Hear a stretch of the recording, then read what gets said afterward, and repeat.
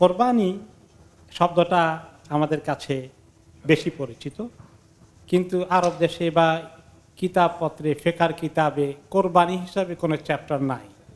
আল উদহিয়া, দহা এইভাবে এসেছে, আবার নাহার হিসাবে এসেছে। কোরআনে এসেছে নাহার। আবার কোরআনে কোরবানি এভাবে আসেনি, কিন্তু ইজকাররাবা কোরবানান।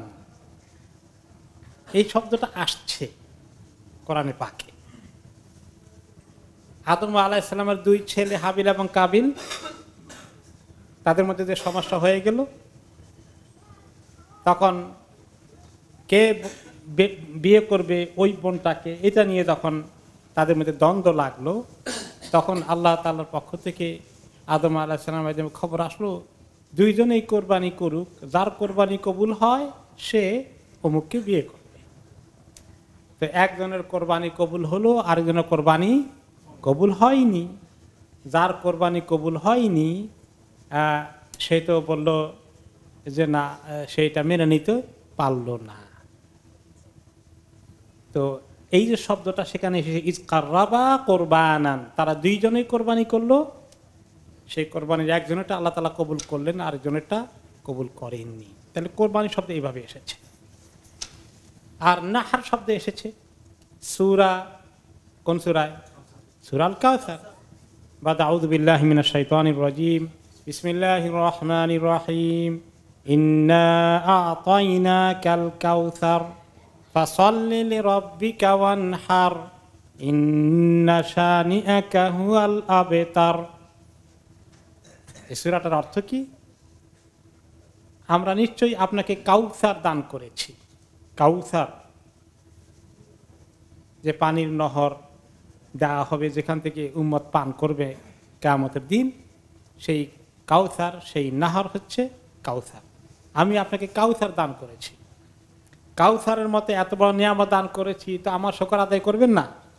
ফাসল্লে রব্বি কাওয়ান হার আপনার রবের জন্য নামাজ পড়েন। আর কোরবানি করে। নাহার কোরবানি করা।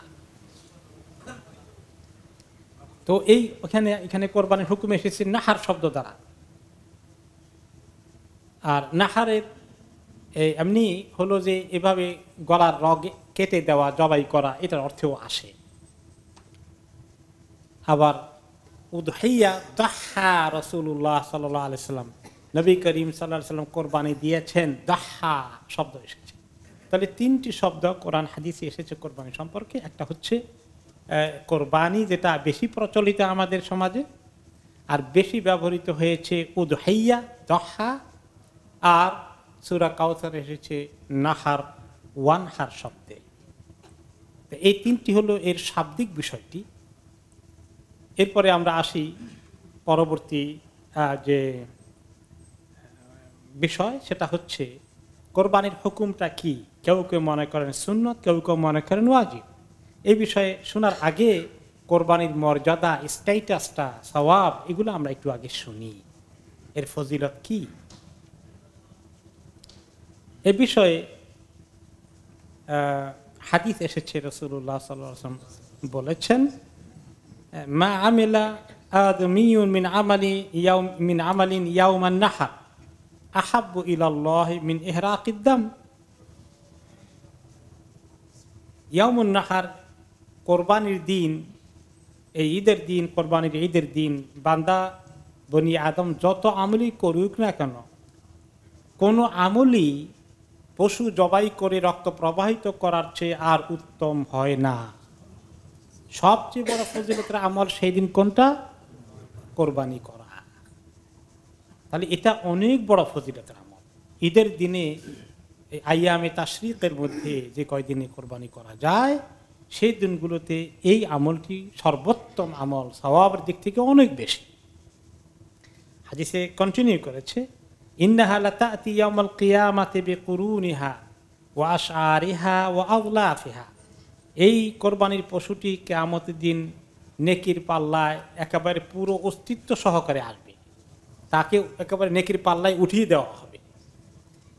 তার শিংগুলো যেগুলো ফেলে দিয়েছি আমরা খাইনি, সেগুলো সহকারে আসবে তার পশমগুলো যে আমরা ফেলে দিয়েছি, সেগুলো সহকারে আনবে এবং তার যে খুরগুলো ফেলে দিয়েছি, খাইনি, ওগুলো সহকারে। সব কিছুকে আল্লাহ নিয়ে আসবেন, নেকির পাল্লায় উঠিয়ে দিবেন ওজন বাড়ানোর জন্যে। এরপরে, ওয়া ইন্নাদ্দামা লা ইয়াকাউ মিনাল্লাহি বিমাকানিন কাবলা আন ইয়াকা আলাল আরদ। এই কোরবানির পশুর এই রক্ত জমিনে পড়ার আগেই আল্লাহ তালার কাছে পৌঁছে যায়। আল্লাহ তালা এত কবুল করেন। এই জবাই করছেন বিসমিল্লা আল্লাহ আকবার। এই রক্তের ফোঁটাটা পড়তে কতক্ষণ লাগবে? তার আগেই আল্লাহ তালার কাছে কবুল হয়ে যাচ্ছে। কিন্তু কবুল হওয়ার জন্য অবশ্য একটু শর্ত আছে। সবাইটা কবুল হয় না। সেটা কি? ফাতিবু বিহা নাফসান। তোমরা পবিত্র মনে কোরবানি করো। মনটা পবিত্র আছে কিনা? নিয়ত কি আছে? ইন্নামাল আমালু বিনিয়া যে সুন্দর নিয়তে আল্লাহ তালা হুকুম মেনে এই কোরবানি করছি, আল্লাহ তালা কবুল করবেন এই নিয়তে। এইটা থাকবে জোরদার নিয়ত।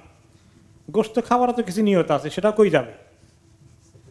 সেটা একেবারেই যে আমাদের মন থেকে দূর হবে না, এটা তো আল্লাহ তালা বুঝেন। আল্লাহ তালাই আমাদেরকে হালাল করে দিয়েছেন। কিন্তু সেইটা যেন মুখ্য না হয়, আমার আল্লাহ বলেছেন ফাসল রব্বিকা হার তুমি ঈদের নামাজ পড়ো আর কোরবানি করো, আমি আল্লাহর হুকুম আদায় করছি। এইটা যেন মজবুত থাকে এবং আমার জন্য আল্লাহ তালা কত স্বভাব রেখেছেন। অন্য হাদিসে এসেছে বেকুল্লে শাহরাতিন হাসানা। প্রত্যেকটি পশমের বিনিময়ে আল্লাহ তালা নেকি দিবেন। একটা পশুর গায়ে কত পশম থাকতে পারে বলে আপনাদের ধারণা? এখন কেউ যদি বলে, কয়েক হাজার? তাও তো বলা মুশকিল। কত হাজার যে হবে, নাকি কত লক্ষ হবে? এটা তো মানে বেসুমা তো এই পরিমাণ নেকি আল্লাহ তালা দান করবেন। তাহলে কত নেকি? যে এই নিয়তে আমি কোরবানি দিচ্ছি। আল্লাহ তালা আমাকে এত সবাব দিবেন। এটা হবে আমার মাইন্ডে নিয়ে আসার জন্য চেষ্টা করা। আর তার সঙ্গে আল্লাহ তালা গোস্ত খাওয়া অ্যালাউ করেছেন। হাদিসে এসেছে নবী করিম সাল্লাহ সাল্লাম খেয়েছেন, গরিবদেরকে দিয়েছেন। আল্লাহ তালাও সেগুলো আমরা শুনব। একটু পরে যে আল্লাহ তালাও আমাদেরকে অ্যালাউ করেছেন খেতে। তো এ হচ্ছে এর ফজিলত এবং এর মর্যাদা। এরপরে আমরা আসি, এর হুকুমটা কি? অনেক ওলামাই কেরাম মেজরিটি ওলামাই কেরাম, জমহুরুল ওলামা মনে করেছেন, কোরবানিটা সুন্নতুল মুআক্কাদা, খুব মজবুত সুন্নত। সুন্নত মুআক্কাদা অর্থ কি? খুব তাকিদওয়ালা খুব মজবুত সুন্নত, খুব মানে হেভি সুন্নত সুন্নত মুআক্কাদা। আর হারাফি মাধাবের ওমার ওলামাই কেরাম বলেছেন, এটা ওয়াজিব। এখন ইমামদের মধ্যে এই এটা নিয়ে ইখতালাফ হলো কেমনি? এটাও একটা কোয়াইট ইন্টারেস্টিং কোয়েশ্চন না। যে কেউ সুন্নতি মোয়াক্কাদা বলে আর কেউ ওয়াজিব বলে, ঘটনা কি? বেতের নামাজের ব্যাপারে হানাফি মাঝাবে বলা হয়েছে ওয়াজিব। আর বাকি ইমাম সমস্ত ইমামরা কি বলেছেন? সুন্নত মোয়াক্কাদা ঈদের নামাজের ব্যাপারে হানাফি মাঝাবে বলেছে ওয়াজিব। বাকি ইমামরা কি বলেছেন? সুন্নত তো এই এটা নিয়ে পার্থক্য হয় কেমনে? কেমনে ওনারা একই ধর্মের অনুসারী, একই ফেকের অনুসারী দুই মত হয় কেন, ইখতলাফ হয় কেন? এর কারণ হচ্ছে, কোনোটা যদি আল্লাহ এবং তার রাসুল সাল্লাহ সাল্লাম বলেন এইটা ফরজ, এটা সুন্নত, এরকম করে নবী করিম সাল্লাহ সাল্লাম বলে দেন, তাহলে উম্মত এটা নিয়ে আর দ্বিমত করবে না। যে নবী করিম সাল্লাম বলেছেন, ফরজ। তুমি সুন্নত বলবা কেমনে? কোনো সুযোগ নাই। কিন্তু কোন কোন আমল তিনি করেছেন, যথেষ্ট গুরুত্ব দিয়েছেন, কিন্তু তিনি উচ্চারণ করে জাননি এইটা ফরজ না সুন্নত না ওয়াজিব? তিনি এগুলো বলেননি। এখন এর হুকুম কি? এটা নির্ণয় করেছেন কারা? ফোকাহে কেরাম। সেটা করতে গিয়ে তারা কতগুলো প্রিন্সিপাল সামনে রেখেছে? এক নম্বর প্রিন্সিপাল হচ্ছে আল আমরুলিল উজুব আল্লাহ তাআলা হুকুম করলে এবং নবী করিম সাল্লা সাল্লাম হাদিসে হুকুমের মতো কিছু দিলে, হুকুম দ্বারা যেটা বোঝায় সেটা দ্বারা কি বোঝানো হয়? ফরজ বোঝা হয়। এই ফরজটাকে আবার আরব দেশে ফরজকেও বলা হয় ওয়াজিব। কারণ ওয়াজিব শব্দের শাব্দিক অর্থটা কম্পালসারি আর ফরজের অর্থ কি?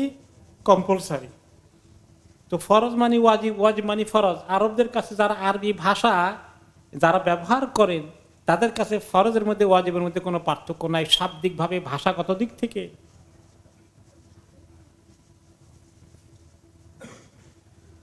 একটা হলো আরবি ভাষায় কোনো পার্থক্য নাই। এই জন্য তারা ফরজ এবং ওয়াজিব মধ্যে কোনো পার্থক্য করেননি। কিন্তু ইমাম আবু হানিফা রহমতুল্লাহ আলাই তিনি একটা টার্মিনোলজি, এটাকে বাংলায় বলা হয় পরিভাষা, আরবিতে বলে মোস্তালাহ, আবিষ্কার করেছেন। শেখার মধ্যে, উসুল শেখার মধ্যে ঢুকিয়ে দিয়েছেন যে যদি শুধু সুন্নত মোয়াক্কাদা বলে দেন, তাহলে অনেকেই এটাকে অনেক হালকা মনে করবে। কিন্তু কোরআন হাদিস চষে বেড়ালে দেখা যায় যে কোনো কোনো আমলের গুরুত্ব অনেক বেশি।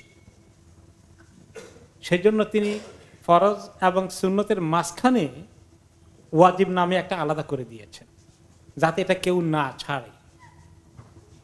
আর আরব ইমামগণ অন্যান্য মাঝহের ইমামগণ, তারা সবাই বলে দিয়েছেন যে, না, সুন্নত মোয়াক্কাদাও এটা জরুরি, এটাও ছাড়ার কথা না। কাজেই আমরা যেহেতু ফরজ বললে ওয়াজিব হয়ে যায়, ওয়াজিব বললে ফরজ হয়ে যায় কনফিউশন সৃষ্টি হবে। কাজে আমরা ওয়াজিব শব্দ ব্যবহার না করে স্টিল সুন্নতে মোয়াক্কাদা রাখব আর বলে দেবো, খবরদার, এটা তোমরা গুরুত্ব সহকারে করো। তাই তো হয়ে গেল। তাহলে আসলে উভয়ের উদ্দেশ্য যারা ওয়াজিব বলেছেন আর যারা সুন্নতে মোয়াক্কাদা করেছেন, বলেছেন তাদের উদ্দেশ্যের মধ্যে কোনো পার্থক্য আছে কিনা? না। সব ইমামরাই একটাই চেয়েছে যে সবাই এটা করুক। এখন এই ফেকের ভাষাটা কি দেবেন, পরিভাষা কি দেবেন, এগুলা কিন্তু পরবর্তী পর্যায়ে নবী করিম সাল্লাম ইন্তিকারের পরে ইমামরা সাধারণ পাবলিকে প্রশ্ন করলে তখন তাদেরকে তারা এটা বলে দিতে হয় যে এটা ফরজ নওয়াজিব না সুন্নত। এই জন্য ওনাদেরকে এই কাজটা করতে হয়েছে। সাহাবাই কেরামের অবস্থা কি ছিল জানেন? ওনারা জিজ্ঞাসাই করতেন না ইয়া রাসুল্লাহ এটা ফরজ নাকি? ইয়া রাসুল্লাহ এটা সুন্নত নাকি? কোনোদিন জিজ্ঞাসা করেন। কেন জিজ্ঞাসা করেন জানেন? বলেন তো। রসুল সাল্লাম যা করবেন তা করবে। এটা সুনত মনে করে, হালকা মনে করবে, তাও করবেন।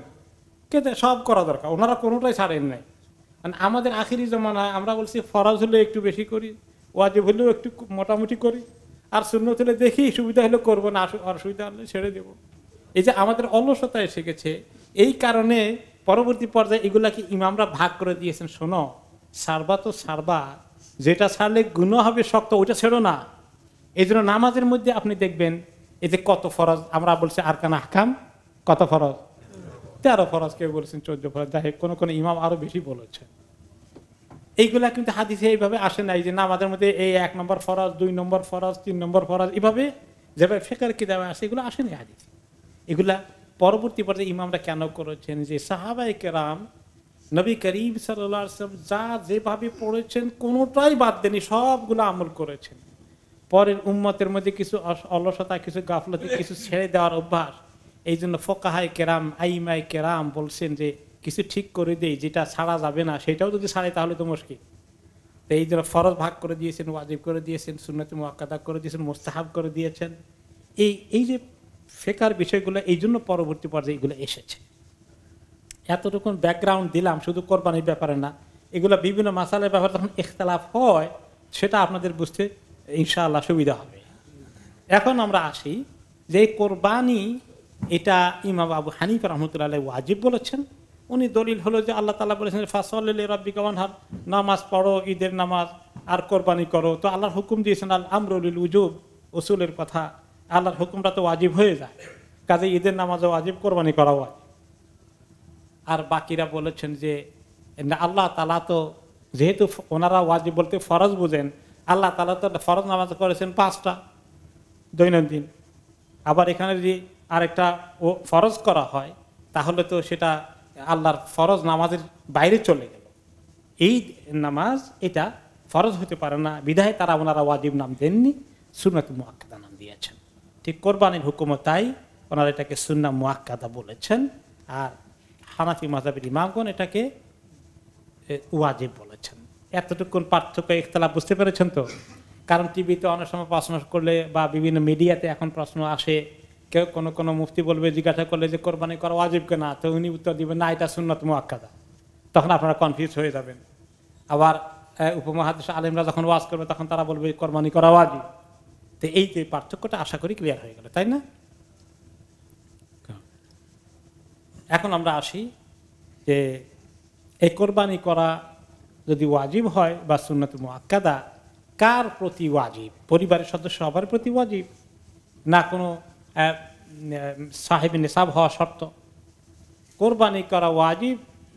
মানে ফোকাহা, অনেক ফোকাহাদের দৃষ্টিতে তারা ওয়াজিব বলেছেন। সাহেবু নিসাব যিনি নিসাবের মালিক।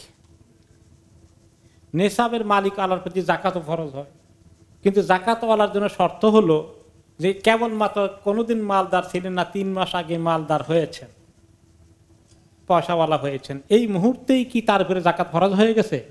না। দেখতে হবে তার টাকাটা তার কাছে থাকে কি না এক বৎসর চন্দ্র মাসের হিসাবে। বছরের শেষে গিয়ে তার ওই ওয়াজিবটা কার্য বা ফরজটা কার্যকরী হবে। সাহেব নেশাব হয়ে গেছেন, কিন্তু এখনও জাকাত ফরজ হয়নি। বছর ঘুরে আসলে তখন গিয়ে ফরজ হবে।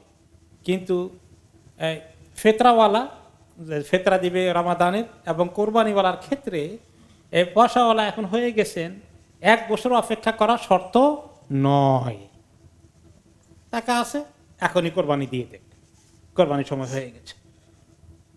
রমাদানের ফেতরা সময় হয়ে গেছে, তিনি দিয়ে অবশ্য রমাদানের ফেতরার ব্যাপারে একতলাপ আছে, সাহেবী নেশাব না হলেও ফেতরা দেওয়া লাগে। এটাও আরেকটা অপিনিয়ন আছে। যে ব্যক্তি দিতে পারে, দেওয়ার মতো আসে তার এক দুই বেলা খাওয়া দাওয়ার পরে বাকিটা দেওয়া যাবে, তাহলে সেও দেখ। তো বলা হলো সেও তো গরিব ক দিবে, আবার নিবে। সে দেওয়ার দেওয়ার দায়িত্ব পালন করবে, আবার নেওয়ার মতো তার রাইট হয়ে গেছে, তবুও দিতে হবে। তো এটা নিয়ে কিছু আবার ইমামদের মধ্যে মতভেদ হয়েছে। যাই হোক, তাহলে কোরবানির জন্য যদি ওয়াজিব বলেন, ওই ব্যক্তি যার কাছে যিনি নেশাবের মালিক হয়েছেন। নেশাবের মালিক বলতে এখন কত টাকা থাকলে নেশাবের মালিক হয়? আমরা জাকাতের সময় আলোচনা করতে বলেছি, মনে আছে? কত বলেছিলাম জাকাতের সময়? কার মনে আছে? আড়াইশো পাউন্ডের কিছু বেশি কম, একটু বেশি। আড়াইশো পাউন্ডের একটু বেশি। এই পরিমাণ টাকা যার কাছে উদ্বৃত্ত আছে, নিজের খরচপত্র শেষে তিনি নেশাবের মালিক হয়ে যান। তো এরপরে এটা ফেতরার ক্ষেত্রে যতটুকুন মজবুত এবং জাকাতের ক্ষেত্রে, কোরবানির ক্ষেত্রে কিন্তু এত মজবুত নয়। তিনি তো মনে করেন, আমার কাছে যদি এখন আড়াইশো পাউন্ড আছে কিন্তু আমার সামনে খরচপত্র আছে, তিনি না করলেও চলবে। মোটামুটি ভালো একটু টাকা পয়সা থাকে, যার কোনো সিরিয়াস ক্রাইসিস হবে না। তার ক্ষেত্রে যতটুকুন গুরুত্বপূর্ণ আড়াইশো পাউন্ডওয়ালার ক্ষেত্রে এত গুরুত্বপূর্ণ বা এত জরুরি নয় শরীয়তের দৃষ্টিতে।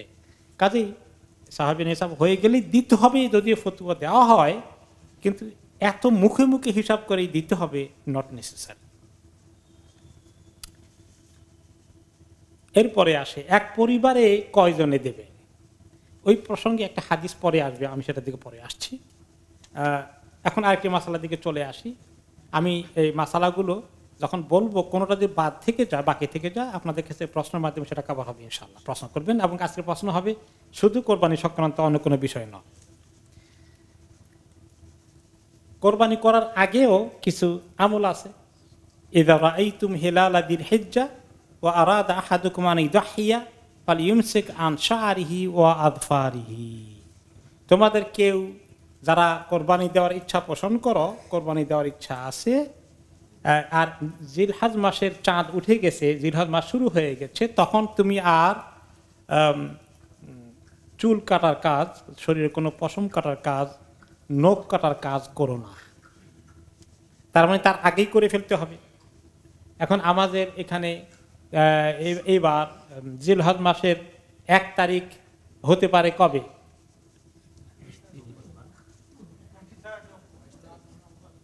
টোয়েন্টি থার্ড অফ সেই ক্যালেন্ডারটা কই।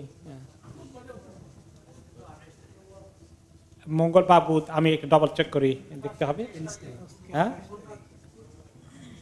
এই মুহূর্তে ভুলে কি যাই হোক আপনি উনত্রিশ তারিখ যখন জিলহজ মাসের হয় তখন সম্ভাবনা আছে যে আগামীকালকে চাঁদ উঠতে পারে মাস উনত্রিশা। আর সম্ভাবনা আছে যে না আগামীকাল তিরিশ তারিখ হতে পারে এই মাস তিরিশা হবে। তাহলে এটা তো একটা সন্দেহ থেকে গেল। এখন সেফ কখন? কতদিনের মধ্যে? উনত্রিশ তারিখের ভিতরে আপনার নখ, মোষ, দাড়ি, মোষ, চুল কাটার কাজ, যে সমস্ত পশম ফেলে দেওয়া হয়, এগুলো দেওয়ার কাজ সেরে নেওয়া উচিত উনত্রিশ তারিখে দিলকাত মাসের ভিতরে। ঠিক আছে? এই হাদিস দ্বারা এটা প্রমাণ হয়। এবং এইটা করা একেবারে ফরজ নয়, খুব সুন্দর, গুরুত্বপূর্ণ আমল। আপনি নবী করিম সাল্লাহ আলসালামের এই হাদিসটা আমল করলে আপনি অনেক সব পাবেন। আবার কেউ কেউ অবশ্য বলেছেন যে তিনি নিষেধ করেছেন বিধায় এরপরে কাটলে গুণা হয়ে যাবে। কিন্তু মেজরিটি ওলামা একরাম বলেছেন যে গুণা হবে না একটুখানি আপত্তি হলেও এটা বড় গুনার পর্যায়ে পড়বে না। কিন্তু একজন মুসলিমের চেষ্টা করা দরকার যাতে করে আমরা এই গুনার থেকে বা এই হুকুমটা পালন করতে পারি। কবে কাটবো? তা এতে বোঝা গেল যে কোরবানি করার পরে কাটা উচিত। হাজির দ্বারা সেটাই বোঝানো হয়। কিন্তু আবার কোনো কোনো সময় প্রশ্ন আসে যে আমরা তো এই দেশে থাকি, আমরা একদিন আগে, দুই দিন আগে কোনো কোনো সময় ঈদ করে ফেলি, কোরবানি করে ফেলি। এবং বাংলাদেশে কোরবানি হয় আরও এক, দুই দিন পরে। তাহলে আমরা কি সেই কোরবানি পর্যন্ত অপেক্ষা করব? না, এখানে নামাজ পড়ার পরেই আমরা চুল, নখ এগুলো বড় হয়ে গেলে কাটতে পারি, কোনটা করব। এখন যেহেতু হাদিসের শাব্দিকভাবে নিলে, তাহলে কোরবানি হওয়া পর্যন্ত অপেক্ষা করাটাই বেহতের, এটাই উত্তম। কিন্তু কেউ যদি মনে করে বেশি বড় হয়ে গেছে, আর এখানে কোরবানি দিলে, কোরবানি করার যে সময়টা লাগতো ঈদের পরে ঈদের পরে কোরবানি করতে অ্যারাউন্ড এক ঘণ্টা, দুই ঘণ্টা ঈদের জামাত নামাজ হয়ে গেল। আপনি ঈদের নামাজের পরে, আপনি যখন ঈদের নামাজ পড়বেন, তার এক, দুই ঘণ্টা পরেই আপনি সাধারণত জবাই করা কাজ করতাম দেশে। ওই টাইমটা ধরার পরে যে আমি যে এখানে কোরবানি দিতাম, তাহলে এখন জবাই করতাম। এটা হিসাব করে এখানে ঈদের পরে দিলেও করবা- আপনি দেওয়ার পরে চাইলে নখ চুল কাটতে পারবেন, এরকম করার সুযোগ আছে। তবে উত্তম হলো যদি আপনি অপেক্ষা করেন যে ওখানে জবাই হয়ে যাক, তারপরে করব। এরপরে হচ্ছে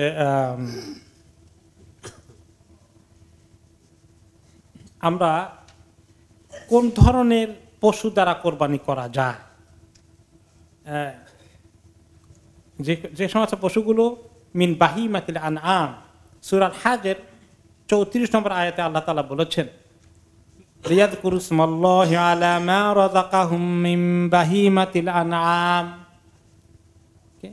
হাজিদেরকে আল্লাহ তালা বলেছেন, তারা যখন হজ করবে, তারপরে দশ তারিখের দিন তারা যেন যে সমস্ত পশুগুলো, হালাল পশুগুলো জবাই করা যায়, এগুলোকে জবাই করার সময় আল্লাহর নাম নেয়।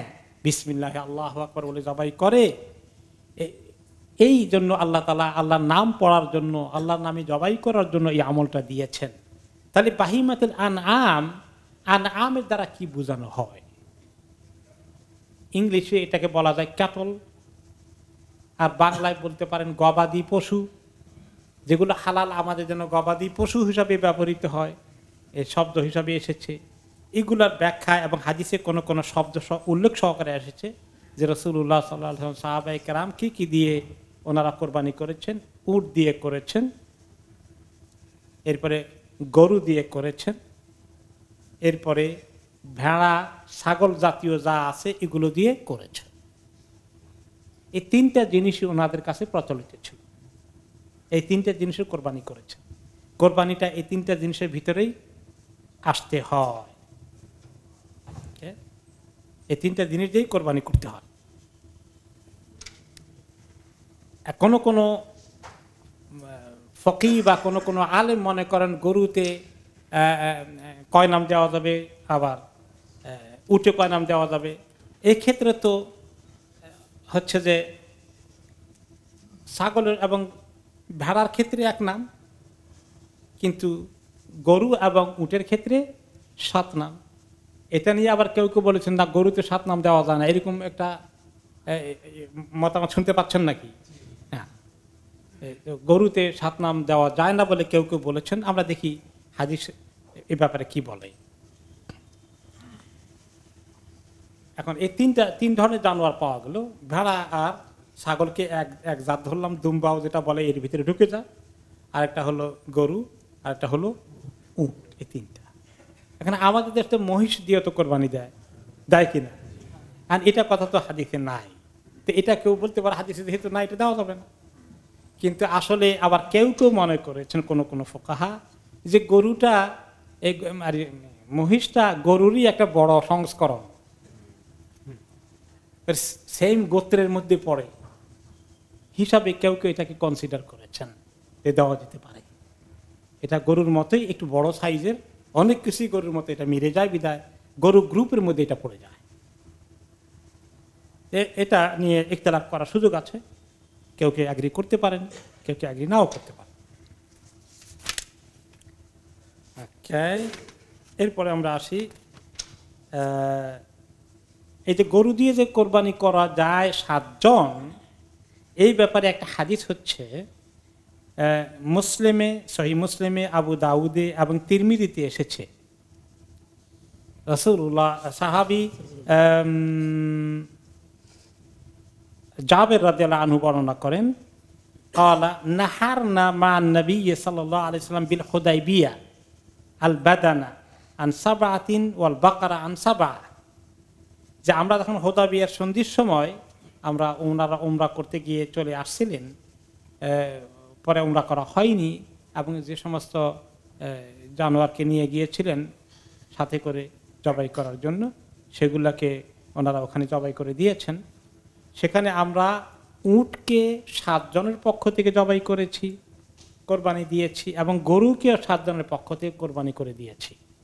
তাহলে এখানে গরুর কথা, উট, উটের কথা, দুইটার কথাই এসেছে। তাহলে এটার আনসার পাওয়া গেল যে গরু কোরবানির কথাও হাদিসে এসেছে। এরপরে আসেন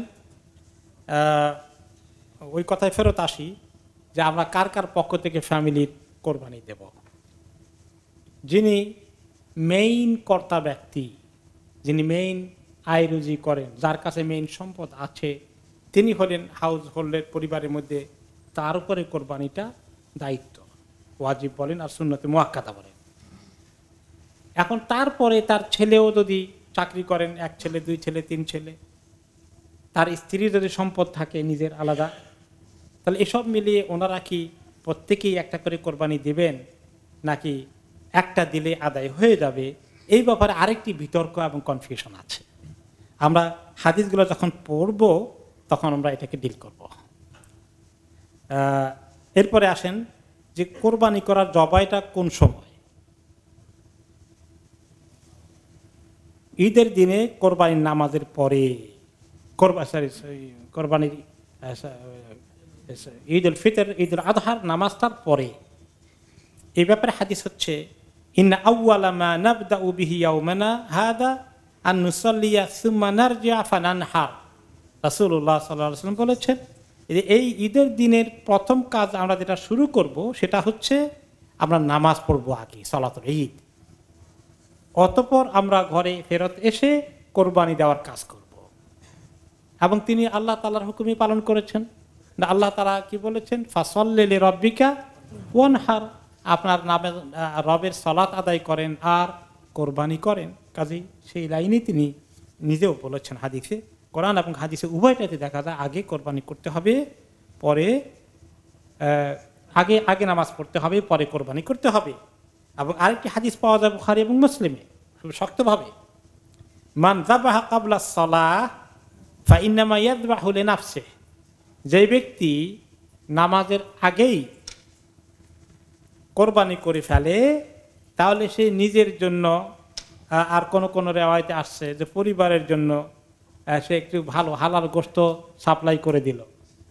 এতে কোরবানি আদায় হলো না।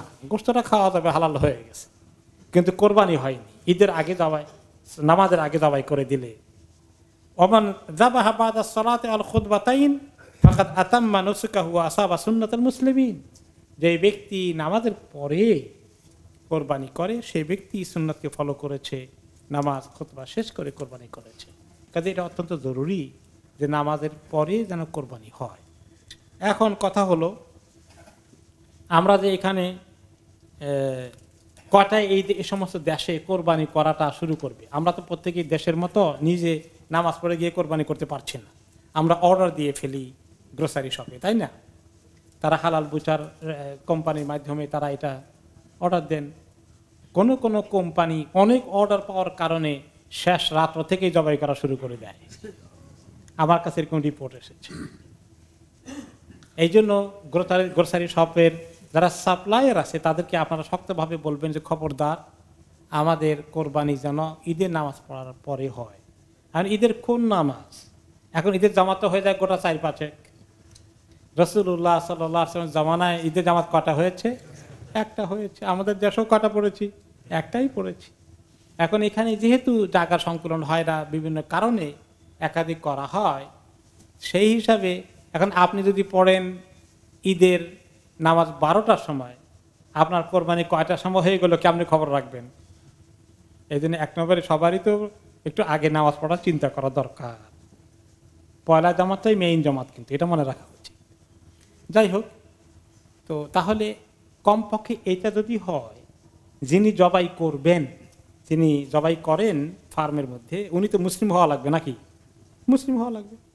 তিনি যদি নামাজটা পড়ে যান প্রথম জামাতে পড়ে যান আর প্রথম জামাত পড়ার সময় দেওয়ার পরে তারপরে গিয়ে জবাইটা করেন এরপরে যার জবাই হলো এত কিছু তাকে করতে পারেনি যে সে কি বারোটায় পড়তেছে না সে সাতটাটা পড়তেছে? এতটুকু যদি তাকিক না করে অন্তত প্রথম জামাত আদায় হয়ে যায় আর্লিয়েস্ট জামাত লোকাল টাউনে আশেপাশে যে প্রথম জামাতটা আদায় হয়ে যায়, এতটুকু সময় দিয়ে যদি জবাই করে, তাহলেও ঈদের নামাজের পরে জবাই হয়ে গেল বলে আলহামদুলিল্লাহ কোরবানিটা আশা করছি কবুল হয়ে যাবে। কিন্তু এর আগে যদি ভোর চারটা, পাঁচটা থেকে শুরু করে হ্যাঁ মিড নাইটের পরে শুরু করে, এরকম যদি কোনো কোনো কোম্পানি করে, সেগুলো খোঁজ খবর রাখা উচিত। কারণ আমাকে এক বুচার বললেন যে, আমি নিজে গিয়েছি গোস্ত আনতে। বলে, আমি প্রথম নামাজ পড়ে লোকাল মসজিদে, যেখান থেকে গোস্ত আলাদের ওই জায়গাটা কাছে, ওই জায়গায় কাছে গিয়ে প্রথম জামাত পড়েছি। গিয়ে দেখি যে, কোরবানি অন্যান্য সাপ্লাইয়ারদেরগুলা, অন্যান্য শপেরগুলা কোরবানি করে স্তূপ করে রাখা হয়েছে। আমি জিজ্ঞাসা করলাম, তোমরা কখন থেকে জবাই করেছ? বলে যে, ভোর রাত্রে তিনটে না চারটে থেকে শুরু করেছে। এগুলো কিন্তু কনফার্ম করা দরকার। এরপরে আরেকটি পয়েন্ট আসে যে, আপনারা যারা কোরবানি দেন, আমরা কয়েক বছর থেকে বলে আসছি, আশা করি আপনারা এখন সচেতন হয়ে গেছেন। গ্রোসারি শপকে গিয়ে বলবেন না যে, ঈদের দিন জোহরের পরেই গোস্ত পাবো কিনা? যেটা দেশে খাওয়ার অভ্যাস আছে।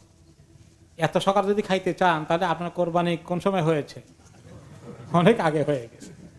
তাহলে বলবেন কোন কোন দোকানওয়ালারা প্রথম দিনে রাত্রেও দিতে পারে না। কেউ কেউ চেষ্টা করে রাত্রে দিতে। আর অনেকেই প্রথম দিন দিতে পারে না, যাদের দূরে জবাই হয়। আস্তে আস্তে তারা দোকানে পৌঁছতে পৌঁছতে রাত্র হয়ে যায়, তারা কাটতে পারেন না। পরের দিন তারা দেন। তাহলে বলবেন যে, ভাই, পরের দিন হলেও আমার আফসুস নাই, আমার কোরবানিটা সহি তরিকায় হওয়া দরকার। প্রথম দিনই খাইতে হবে, এই শর্তটা লাগাই দিয়েন না। তাহলে কোনো কোনো দোকানওয়ালারা কি করবে? আপনাকে ঠিক মতোই খাওয়াবে, হালাল কোস্তা খাওয়া হবে, কোরবানি নাও খাইতে পারেন। তাহলে এটা শিওর হওয়া দরকার ওকে এই একটা মশালা গেল। এরপরে আসে যে ওই যে কথা, যে হাদিসে খুঁজতেছিলাম বা আমরা এদিকে আসব এখন, পরিবারের একটার পক্ষ থেকে একটা দিলেই গোটা পরিবারে সবার কোরবানি আদায় হয়ে যায়, আর কারও দেওয়া লাগবে না। এরকম একটা মশালা আপনারা শুনে আসছেন। আবার কেউ কেউ বলছেন, না, পরিবারে যাদেরই নিজস্ব টাকা পয়সা আছে ইনকাম আছে, তারা সবাই উপরে কোরবানি ওয়াজি সবাই দিতে হবে। এই বিষয় নিয়ে এই বিতর্কের মধ্যে একটা হাদিস আবু আইব আল আনসারি রাজি আল্লাহ আনহু থেকে বর্ণিত আছে, কেন রাজুলু ফি আহদে রাসুলিল্লাহ সাল্লাহ আলি ওয়াসাল্লাম ইউদাহি বিশ্বাতে আনহু আন আহলি বাইতিহি ফয়া কুলুনা ওয়ুত এমন হাত্তা তাবাহান্নাসু ফসরা কামা তার। আবু আইব রাজি আল্লাহ আনহু, উনি সাহাবি, বৃদ্ধ বয়সে নবী করিম সাল্লাম ইন্তিকালের অনেক পরের ঘটনা। তিনি তাবেইদেরকে লক্ষ্য করে বললেন, ওনারা বললেন যে, আপনারা তাবেইন আমাদেরকে জিজ্ঞেস করলেন, নবী করিম সাল্লাহ জামানায় আপনার কোরবানি কেমন করে দিয়েছেন? পরিবারের সবাই নামে দিয়েছেন না, একটা দিয়েছেন না, অনেকগুলো দিয়েছেন? তখন তিনি উত্তর দিলেন যে রসুল্লাহ সাল্লাহ জামানায় আমরা পরিবারের সবার পক্ষ থেকে বাড়িওয়ালা, কর্তা একটা কোরবানি দিয়েছি। আর সেটাই নিজেরা সবাই খেয়েছে এবং সেখান থেকেই অন্যদেরকে, গরিব মুসলিমদেরকে বা যারা কোরবানি দেয় নাই, তাদেরকে বন্টন করেছে। আর এই অবস্থা আমাদের জমানা কেটে গেল এখন তোমরা দেখতে পাচ্ছ মানুষের এক পরিবারের পক্ষ থেকে কত কোরবানি দেয়। মানে তারা কোরবানির একটা প্রদর্শন ইচ্ছা, কোরবানি বেশি দিল কে? এই ধরনের একটা প্রতিযোগিতা চলছে মনে হয় যে না এই হাদিস থেকে দলিল নিয়ে অনেকে মনে করেন যে প্রত্যেক পরিবার থেকে একটা করে কোরবানি দিলেই হয়ে যাবে, এতজনের কোরবানি দেওয়া লাগবে না। এটা একটি মত, অনেকে এইটাকে জোরালোভাবে বলে থাকেন। Maybe this is right also আরেকটি মত মত আছে, সেটাও রাইট যে যাদের উপরে কোরবানি করার সামর্থ্য আছে, তারা প্রত্যেকেই দেবে। সাহাবিদের সময় আবু আইব আনসারি রাজি আল্লাহ সময়, সাহাবিদের সবাই কি খুব ধনী ছিলেন নাকি? না। সবার হাতে এত ইনকাম ছিল না। এই জন্য ওনাদের জমানায় কোরবানি কম দিয়েছে। এখন যদি কারও অনেক ইনকাম থাকে এবং একাধিক ব্যক্তি ইনকাম করে, একাধিক ব্যক্তির অনেক টাকা থাকে, তাহলে তারা দেওয়ার মধ্যে কোনো আপত্তি আছে নাকি শরীয়তে? নো যদি ওয়াজিব মনে করেন তর্কের খাতিরে ধরে নিলাম যে সবার প্রতি ওয়াজিব না, শুধু একজনের প্রতি বা সবার জন্য শুনতে মোয়াক্কাদা না, শুধু একজনের প্রতি পরিবারে।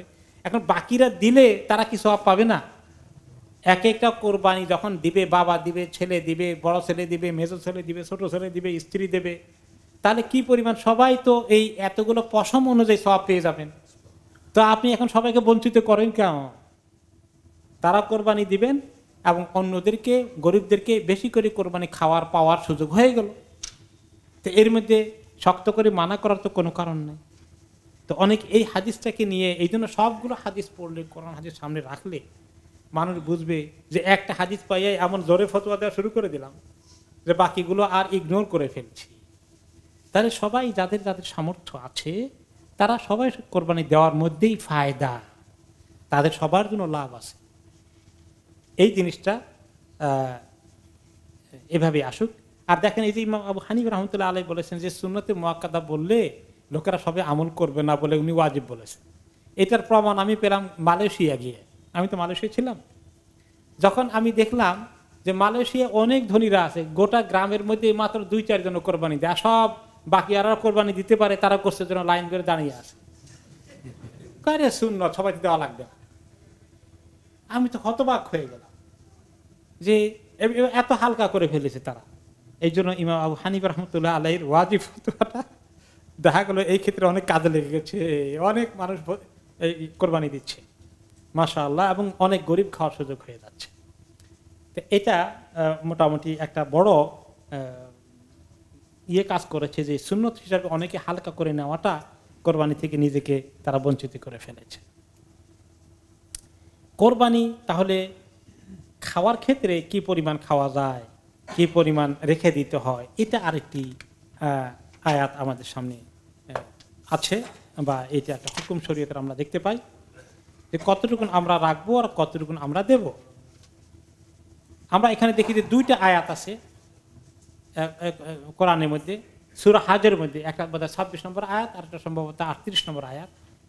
আল্লাহ তালা বলেছেন ফাকুলু মিনহা ও আতেমুল বা ইসাল ফাকির। যে তোমরা খাও সেখান থেকে, আর যারা ফকির, মিসকিন, তাদেরকেও তোমরা খাওয়াও। যারা বঞ্চিত, যারা গরিব, তাদেরকে তোমরা খাও তাদেরকে দাও। কতটুকু দিতে হবে আল্লাহ তালা অংশ ঠিক করে দেন। আবার আরেকটি আয়াত ওই সুরা হাজে এসেছে, সম্ভবত আটত্রিশ নম্বর আয়াতে। ফাকুল মিনহা ওয়াতেমুল কানিয়া আল মোতার। যে তোমরা সেখান থেকে কোরবানি থেকে খাও। আর যারা কানে, যারা চায় না কারও কাছে, কিন্তু তারা গরিব, তারা আসলে কষ্টে আছে, তাদেরকে তোমরা খাওয়াও, বন্টন করো। তাহলে তিন রকমের লোক আছে যারা কোরবানি দিয়েছেন। আর যারা ফকির, মিসকিন। মাঝখানে এক লোক এক কিছু লোক আছে তারা একেবারে ফকির, মিসকিন না, কিন্তু কোরবানি হয়তো তাদের উপরে ওয়াজিব নয়, বা তারা দেন নাই সুন্নত মনে করে। তাদেরকে বলা হয় কানে, যারা চায় না। আর মোতার হলো ফকির যারা চায়, লাইন ধরে আসে, ইন্তজারে আছে। তাহলে সবাইকে বিতরণ করা যায়। এই ক্ষেত্রে কতটুকুন বিতরণ করা উচিত আর কতটুকুন রেখে দেওয়া উচিত? এক্ষেত্রে ওলামাই কেরাম বলেছেন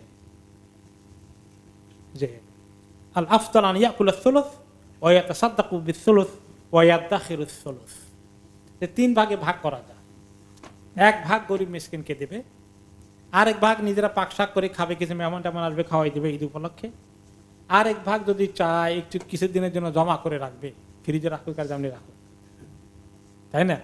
তা এই তিন ভাগের একটা রেকমেন্ডেশন কিন্তু এটা এত শক্তভাবে নয়। আপনি যদি দেখেন যে আপনার ফ্যামিলি মেম্বার অনেক বেশি, আপনার তিন ভাগের এক ভাগ এবং আত্মীয় স্বজন আরও আসতেছে আসবে, তিন ভাগের এক ভাগ আপনার জন্য দেওয়া গরিব মিসকিনকে বেশি পোষায় না, কিছু কম দিতে হয়, কারণ পরিবারের সদস্যের সংখ্যা অনেক বেশি। তাহলে একটু বেশি খেয়ে ফেলছেন, তিন ভাগের, এক ভাগের কম দিয়েছেন, অসুবিধা নাই। আবার কারও মাত্র দুইজন আছে পরিবারের মধ্যে, খানেওয়ালা নাই, তারা তিন ভাগে, দুই ভাগে রাখি কি করবেন? আপনারা অর্ধেক দিয়ে দেন দরকার হলে, আরও বেশি করে দেন।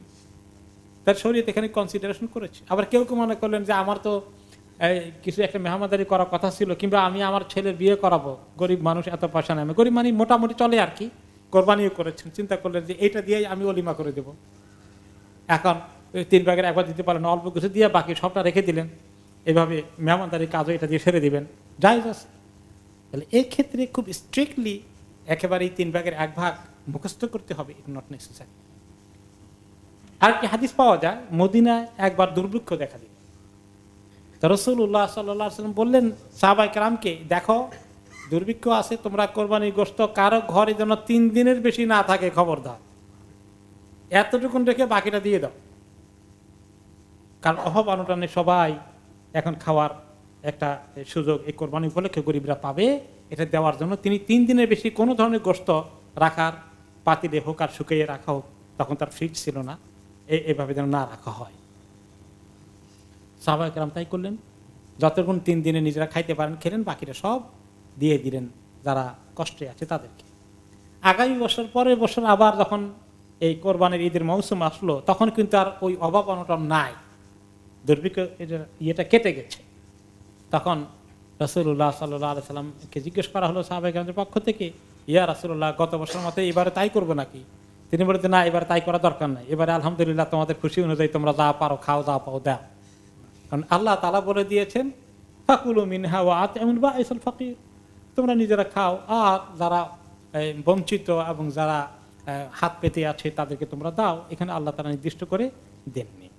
তাহলে এই ক্ষেত্রে ফ্লেক্সিবিলিটি আছে, একদম ফিক্স করে দেওয়া হয়নি। আরেকটা বিষয় আসে, যে আমাদের দেশে যেটা করে মানে কয়েক রকমের কোরবানি দেয়। শুধু খাওয়ার নিয়তেই বেশি দেয়। কোরবানি যাদের জীবনে কোনো আল্লাহর ইবাদতের আমল নাই, কিন্তু কোরবানির আমল খুব মজবুত করে করতেছে মাসা গরু দেয়, খাসি দেয়, কত কিছু মানে খাওয়ার একটা মৌসুম, সোজা কথা। এই যে খাওয়ার মৌসুমের ফুর্তিতে আছে, এখন গোস্ত গরিব মেশিনে কদ্দুর দিবে, আল্লাহ ভালো জানে।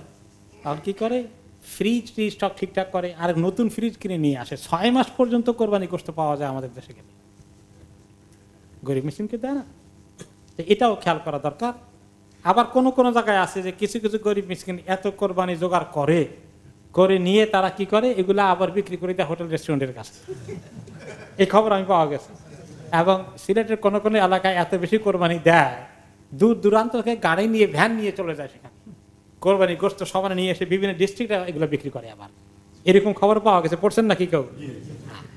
তো এইগুলো ক্ষেত্রে খেয়াল করা দরকার যেন কি অপব্যবহার না করে। হাও এবার আপনি দিয়েছেন, জানেন না, গরিব মনে করে দিয়েছেন, সে নিয়ে বিক্রি করে দিয়েছে। এতে আপনার গুণ হবে না। আপনার সব এরকমটি হবে না। কিন্তু এরকম করা আসলে ঠিক না। আর কি যারা এরকম উল্টাপাল্টা করে। এরপরে আমরা আসি যে কোরবানি অনেকেই দেখা যায় কার নামে দিবেন? মাইয়েতের নামে কোরবানি দিবেন, বাবা মার নামে না নিজের নামে দিবেন? এটা আরেকটি প্রশ্ন এসে যায়। এক নম্বরে আপনার বাবা মা জীবিত থাকে আপনি তো আসেনি বাবা মার উপরে নিজস্ব কোনো ইনকাম নাই, তারা আল্লাহ তা কোরবানি দেবেন না। এখন আপনি মাত্র একটাই কোরবানি দিতে পারেন, আপনারও বেশি তৌফিক নাই। তাহলে আপনি এটা নিজের নামে দিবেন না বাবা মার নামে দিবেন? নিজের নামে দিতে হবে। অনেকে আমাদের দেশে দেখেছি, কয়, আর বাবা মুরব্বী, মানুষ ওনার নামে দেই। না, আপনি ইনকাম করছেন, টাকা আপনি জোগাড় করেছেন, আপনার উপরে এটা শরীয়তের হুকুম, বাবার উপরে না। কিন্তু আপনি দেওয়ার পরে যদি চিন্তা করেন আল্লাহ তালা আপনাকে তৌফিক দেন, আমি বাবার নামেও দেই, মার নামেও দেই, আলহামদুলিল্লাহ আপনি একটা সব পাবেন, বাবা মাও সব পেয়ে যাবে চিন্তা আছে। মৃত থাকলে দিতে পারবেন কিনা? মৃত মরে গেলেও দিতে পারবেন। বাবা মা মরে গেলেও কোরবানি দেওয়া যাবে। এটা নিয়ে আরেকটি বিতর্ক আছে ইউটিউবের মধ্যে সম্ভবত, যে মৃতদের নামে কোরবানি দেওয়া যায় না। এটা একটা মত আছে মহাদিসিন আহলে হাদিসের, কেউ কেউ বলেছেন। কিন্তু মেজরিটি ইমামদের ফতোয়া হচ্ছে, উম্মতের যারা ওলামা, তাদের ফতোয়া হচ্ছে, এক্ষেত্রে কোনো রেস্ট্রিকশন নাই। বিশেষ করে ইমাম ইবনে তাইমিয়া রহমতুল্লাহ আলী মজবুত করে বলেছেন যে মাইয়েতের পক্ষ থেকে সৎকার তুলনায় কোরবানি দেওয়ার মধ্যে সব অনেক বেশি। কারণ ঈদের দিনে জিন্দা আলাদের পক্ষ থেকে যখন কোরবানি দেয়, তাদের এই কোরবানির মতো আর কোনো আমলে এত স্বভাব হয় না।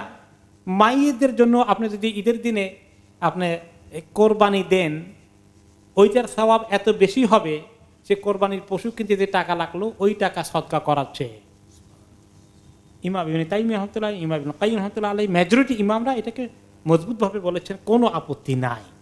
কিছু কিছু কিছু ইখতলাফ আছে, কোনো কোনো আলিম ফতুয়া দিয়েছেন। তো সেটা, হি মে বি রাইট সব মোস্তাহিদের ফতুয়া কোনোটাকে আমরা বাতিল বলা ঠিক না। কিন্তু যে ফতোয়া অন্যান্য মেজরিটি আমরা দিয়েছেন, এটার ভিত্তি আছে। এরপরে দেখা যায় যারা একটা কোরবানি দেবেন, একটা কোরবানি দেবেন মাত্র আপনি আর বাকিদের কারণ আমি আপনি কোরবানি দিচ্ছেন না, পরিবারে সবার এত ইনকামও নাই। এখন একটা কোরবানি দিলে যদি গরুর এক নাম দেন, একটা ছাগল দেন, তাহলে কার নামে দিবেন? আমার নিজের নামে দেব। এখন বাকিদেরকে সাওয়ার মধ্যে সামিল করানো যায় কি না? এই ক্ষেত্রে একটা হাদিস পাওয়া যায়। রসুল্লাহ সাল্লাম যখন নিজের কোরবানি দিয়েছেন, তিনি বলেছেন আল্লাহ মাহাদা আন মোহাম্মদ ওয়ান আলী মোহাম্মদ।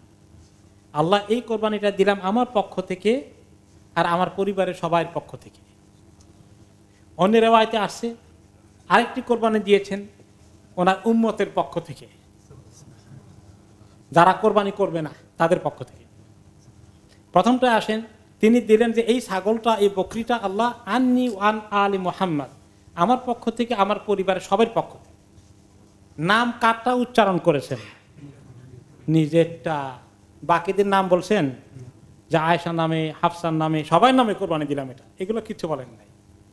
তাহলে নাম একটা বলবেন, কিন্তু সবাইকে আমি বলে আমার ছেলে মেয়ে, স্ত্রী যা আছে, আল্লাহ সবাইকে আমি সবার মধ্যে সামিল করব। এইটা যায় আছে আর যদি দেন যে আমি সবাই নাম বলে দেব, তখন এরকম সাতটা লাগবে গরু ছাগল, আর গরুর মধ্যে আপনি সাতটা নাম ঢুকাতে পারবেন। যে স্ত্রীর নাম দিলেন, অমুক ছেলের নাম দিলেন, অমুক মেয়ের নাম দিলেন, এভাবে দিতে পারলেন, দেওয়া যাবে। তাহলে একটা ছাগল বা গরুর এক অংশ মূলটা নিজের নামে হবে আর সবাইকে সবার মধ্যে শরিক করানো যাবে। এই কথাটা আর কোনো একটা কোরবানির নামের মধ্যে এক নামের বেশি দেওয়া যায় না, শুধু একটা নাম দেওয়া যায়। এই দুটো কথার মধ্যে আপনারা সামঞ্জস্য বুঝতে পেরেছেন? যে কন্ট্রাডিকশন নয়। ঠিক আছে? নিজের একটা নাম দিয়ে দিলাম আর সবাইকে সবে শারিক করলাম। আর যদি আমি চাই সবার নাম দেব, তাহলে সাতটা দিতে হবে। বা গরুর সাত নাম দিতে হবে, উটের সাত নাম দিতে হবে। এটা পরিষ্কার হয়েছে? আরেকটি মাসালা আসে যে অনেকেই রসুল্লাহ সাল্লাম নামে কোরবানি দেন, তাই না? টিভির মধ্যে বোধহয় খুব শক্ত করে বলে, তাই না? এবং কি আবু বকরা জেলা নামে, ওমর তার খলিফার নামে কোরবানি দেওয়ার ব্যবস্থাও আছে। এইগুলোর খবরও আছে। এই বিষয়ে একটা হাদিস আপনারা অনেকে বয়ান করেন খুব শক্ত করে। হ্যাঁ, সেই হাদিসটা ভিত্তিতে ওনারা এটাকে বলে থাকেন যে রসুল্লাহ সাল্লাম নামে কোরবানি দেওয়া যায়। তাদের দলিল কি? একটি হাদিস তিরমিজিতে এসেছে। তো ইমাম তিরমিজি বলেন হাদ্দাসানা মোহাম্মদ ইবনে ওবায়দ আল মুহারেবি আল কুফি যে মোহাম্মদ ইবনে মোহারবি কুফি বলেছেন হাদিসটি। তিনি শারিক থেকে বলেছেন শারিক আবুল হাসনা থেকে বলেছেন, আবুল হাসনা হাকাম থেকে বলেছেন, হাকাম হানাস থেকে রেওয়ায়ত করেছেন, আর হানাস আলী রাদিয়াল আনু থেকে রেওয়ায়ত করেছেন। আলী রাদিয়াল আনুর একটা কথা হলো হাদিস, সেটা কি? তিনি আন্নাহু কানা ইউদাহি বেকাফসাইন তিনি দুটো দুম্বা কোরবানি দিতেন। আহাদুহুমা আনিন নবী সাল্লাহ আলি সাল্লাম ওয়াল আখারু আন নাফসিহি। একটা তিনি নিজের পক্ষ থেকে দিতেন আর একটা রসুল্লাহ সাল্লাহ আসলামের পক্ষ থেকে দিতেন। দিতেন বলে রেওয়ায়ত আসে দিতেন কি না? এটা পরে আসতেছি আমরা। ফাকিল আল্লাহু, ওনাকে বলা হলে, এরকম উনি, আপনি ওনার নামে দেন কেন? আল্লাহ নবীর নামে কেন দিচ্ছেন? ফকল আমারানি বিহি, ফালা আদাউহু আবাদান। যে রসুল্লাহ সাল্লাহ সাল্লাম আমাকে এটা এরকম করে দেওয়ার জন্য ওসিয়ত করে গেছেন বলে গেছেন কাজে আমি যতদিন বেঁচে আছি, ওনার নামে কোরবানি করা আমি ছেড়ে দেব না, ছাড়ব না। এই হাদিস হলো দলিল। যে আলী রাদিয়াল্লাহ আনহু নবী করিম সাল্লাহ সাল্লামের পক্ষ থেকে কোরবানি দিয়েছেন। কিন্তু এই হাদিসটি আসলে সহি নয়। ইমাম তিরমিজি যিনি হাদিসটি বর্ণনা করেছেন ওনার গ্রন্থে, এটা বোখারিতেও নাই, মুসলিমেও নাই, তিরমিজিতে আসছে। উনি বলেন হ্যাঁ দা হাদিস গরিব এটা একটা আশ্চর্যজনক হাদিস হাদিস, অদ্ভুত হাদিস। লানা আরেফ ইল্লামিন হাদিসের শারিক। শারিক নামে একটি লোক বর্ণনা করেছেন যে হাদিসটি তার কাছ থেকে ছাড়া আর কারও কাছে হাদিসটা পাওয়া যায় নাই। এখন এই যে শারিক এই লোকটি যে হাদিসটি বলেছে এবং আরেকজন বর্ণনাকারী তারপরে এসেছে হানাস, হুয়া আবুল মতামরা কেনানি, এই বর্ণনাকারী যে হাদিসটি বলেছে সে ব্যক্তি এই হাদিস বলতে কিন্তু তার হাদিসের মধ্যে অনেক ভুল আছে। মহাদিস আবিষ্কার করেছেন কাফির ওয়াহামি ফিল আখবার। সে হাদিস বর্ণনা করার ক্ষেত্রে অনেক মিস্টেক করে। ইয়ানফারিদ আন আন আলী বি আশিয়া লা ইসবেহ হাদিস সিকা হাত্তা সর আমি মিমালা ইয়াহতাজু জুবিহি সে এমন ধরনের হাদিস বর্ণনা করে আলী রাজিয়াল আনুর কাছে যেটা কোনোদিন কোনো নির্ভরযোগ্য মহাদ্দেশের কাছে পাওয়া যায় না, খালি তার কাছেই পাওয়া যায়। তো এরকম আরও দুইজন, আবদুল্লাহ নামে যে তার ব্যাপারে অনেক বিতর্ক আছে, সে নির্ভরযোগ্য কিনা, আবুল হাসনা নামে যে আছে আবদুল্লাহ ওস্তাদ হাদিস বর্ণনা করেছে, সে মাঝুল সেই লোকটা কে তাকে কেউ চেনে না। অমুক থেকে শুনছি, অমুকের কেউ চেনে না। তাহলে বোঝা গেল হাদিসের সনদের মধ্যে এই যে দুর্বলতাগুলো আছে, এই দুর্বলতা কারণে ফল হাদিস দাইফ এই হাদিসটি হচ্ছে দাইফ দাইফ মানে কি? দুর্বল। দুর্বল অর্থ কি? এই হাদিসটি রসুল্লাহ সাল্লাম যে আলী রাদিল্লাহ তালাম যে এটা বলছেন, তিনি যে করেছেন, ওনার পক্ষ থেকে এভাবে কোরবানি, এটা সুস্পষ্টভাবে প্রমাণিত হয়নি। হাদিসটার ভিত্তি মজবুত নয়। তাহলে এটা বোঝা গেল যে আসল যদি ভিত্তি না থাকে রসুল্লাহ সাল্লাম নামে কোরবানি দেওয়া হয়েছে বলে তার তো আর কোনো দলিলই নাই। আর কোনো দলিল নেই। আর দুই নম্বর হচ্ছে, রসুল্লাহ সাল্লাহ সাল্লামের কাছে কোরবান, নামে কোরবানি দেয়। কেউ আমি দেখি একজনে ওনার নামে হজ করেছেন। কেউ কেউ ওনার নামে ওমরাও করেছেন। তো এখন আপনি এইগুলো যদি করেন, বোঝা গেল আপনি ওনার উপকার করতে চান, ওনার জন্য আপনি কিছু করছেন মহব্বত থেকে করতেছেন। কিন্তু আপনি মনে হলো যে ওনার একটু এবাদতের কমতি আছে, আপনি পূরণ করে দিচ্ছেন কিছু ওনাকে। তা আপনি চিন্তা করেন গভীরভাবে কাজটা এখন আপনি কি করলেন আসলে? ওনার কি কোনো এবাদাতের কমতি করে গেছেন তিনি? যে আপনি পূরণ করে দিতে হবে। কিন্তু তো এবাদতের কমতি কার আছে? আমার আছে। আমার পরে আমি আমার বাবার জন্য করি, দাদার জন্য করি, আমার যাকে মনে হচ্ছে তার জন্য করি। রসুল্লাহ সাল্লামের জন্য কোনো এবাদত কোনো দান খরাত করতে হবে? যে ওনার নামে আমি দশটা পাউন্ড সদকা দেই। এই কাজ করা, এই সমস্ত জিনিস কেন মানুষ অতি ভক্তি জোগাড় করে? এগুলো কেন নিয়ে আসে? আবু বাকার আদিয়াল্লাহ আনহু অমর আদিয়াল্লাহ আনহু কি রসুল্লাহ সাল্লাহকে আমাদের চেয়ে কম মহব্বত করতেন? কিছু করতে হলে তো ওনারা করতেন ওনার নামে। আর আলী রাজের আনু বর্ণনা তো পাওয়াই গেল না যে এটা কোনো খবরই নাই যে উনি করেছেন বলে। তাহলে এগুলো আবিষ্কার করা ঠিক নয়। রসুল্লাহ সাল্লাম যথেষ্ট আলহামদুলিল্লাহ আমল করে গেছেন। ওনার জন্য আল্লাহ তালা আমাদেরকে কি করতে বলেছেন? সেইটা করি আল্লাহ তালা কি বলেছেন? সাল্লু আলাইহি ওয়াসাল্লিমু তাসলিমা। তোমরা বেশি করে রসুল্লাহ সাল্লামকে সলাত এবং সালাম পাঠাও। এতে ওনার যতটুকু আল্লাহ তালা করবেন, তার চেয়ে বেশি আমার এবাদত হচ্ছে ওনাকে সালাত এবং সালাম পাঠানো। আমার মহব্বতটা আমি এই তরিকা প্রকাশ করি। আর আরেকটা আল্লাহ তালা কি বলেছেন? ফত্তা বেউনি হেবকুমল্লাহ যে আপনি বলে দেন আমার অনুসরণ করো, আমাকে ফলো করো। আল্লাহ তালা তোমাদেরকে মহব্বত করবেন। তো দুটো কাজ, ওনার তরিকাকে, সুন্নতকে আঁকড়ে ধরা, তরিকাকে ফলো করা, অনুসরণ করা প্রত্যেকটি কাজে, আর ওনার জন্য সলাত এবং সালাম পেশ করা। এর বাইরে রসুল্লাহ সাল্লাহ জন্য দান, খয়রাত, হজ ওমরা কোরবানি জাকাত সদাকাত কিচ্ছু দেওয়া লাগবে না। ঠিক আছে? কোনো দলিল নেই। যদি রসুল্লাহ সাল্লাহ সালামের জন্য কোরবানি করার দলিল না থাকে, তো আবু বকর ওমরা জেলা আনু করার পক্ষে করার জন্য আর কোনো দলিল লাগবে? আর তালাশ করার কোনো ভিত্তি আছে? নাই। ওকে?